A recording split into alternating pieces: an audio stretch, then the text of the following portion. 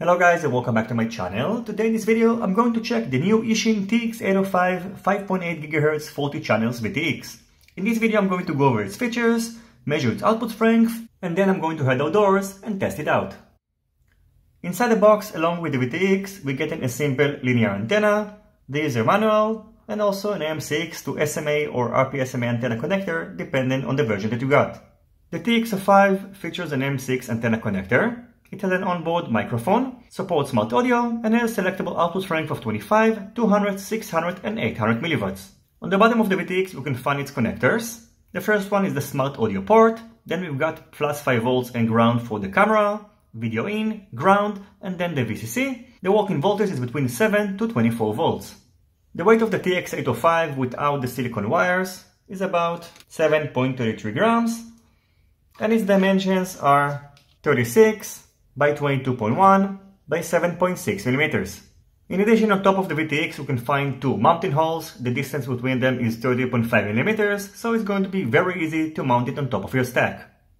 Now when I first saw the TX805 it looked very familiar and that's because it looks pretty much like the FX2 Ultimate Mini but these VTXs are not identical, they don't share the same components in addition the maximum output strength of the TX805 is 800 mW and the maximum output strength of the FX2 Ultimate Mini is 1200 mW.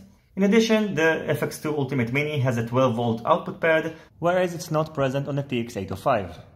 Configuring the VTX output strength and frequency can be done using this button over here and then all these LEDs are going to indicate the frequency and output strength. So just refer to the user manual and then it's going to tell you how to do it. Of course, the preferred way is to use the smart audio pad. All you have to do is just to connect the smart audio pad to a free UART TX port on your flight controller and then under Betaflight configure this port to use TBS smart audio protocol and after that you'll be able to configure the VTX using Betaflight's OSD.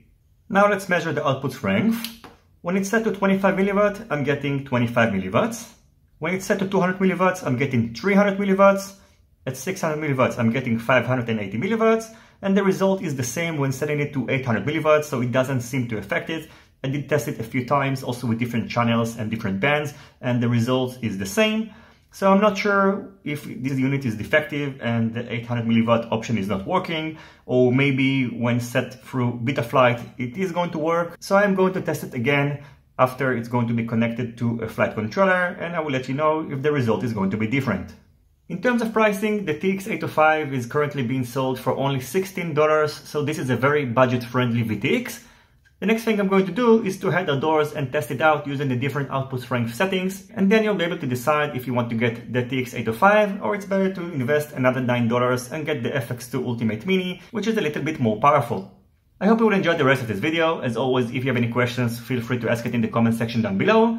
Don't forget to leave a thumbs up if you like this video and consider subscribing to my channel and hitting the notification bell if you're not already subscribed. See you in my next videos and goodbye.